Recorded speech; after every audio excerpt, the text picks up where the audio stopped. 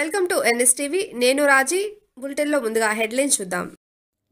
Corona కట్టడికి రాష్ట్ర ప్రభుత్వం విధించిన కర్ఫ్యూ నిబంధనలను ప్రతి ఒక్కరూ తప్పనిసరిగా పాటించాలని నూజువీడు డీఎస్పీ బి శ్రీనివాసులు కోరారు. ప్రజలు అవసరమైతేనే బయటకు రావాలని అనవసరంగా వచ్చి కరోనా మహమ్మారికి బలి కావద్దని ఆయన తెలిపారు.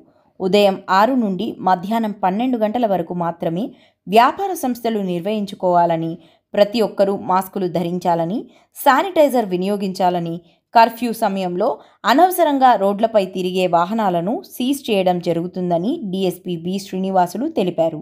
సమావేశంలో Vissannapeta sub inspector M Lakshman పాల్గొన్నారు. శానిటైజర్ ఉపయోగించండి.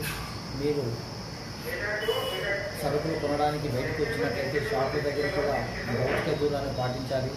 కాబట్టి ప్రజలందరూ కూడా ఈ కరోనా వ్యాప్తిని నిర్మూలించడానికి భాగస్వాములు కావాలని ఈ కర్ఫ్యూ సమయంలో ఎవ్వరు కూడా అనవసరంగా రోడ్లపైన తిరగకూడదని చెప్పేసి ఒకవేళ ఒక కర్ఫ్యూ ఉల్లంఘనను ఉల్లంఘించినట్లయితే ఆ యొక్క వాహనాలను సీజ్ చేయడం జరుగుతుంది. ఆ వ్యక్తులపైన కఠినమైనటువంటి చర్యలు కూడా తీసుకోవడం జరుగుతుంది.